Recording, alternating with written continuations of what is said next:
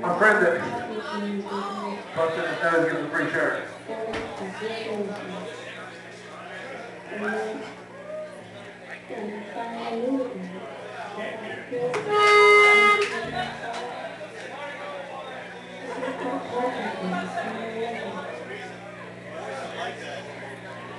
Thank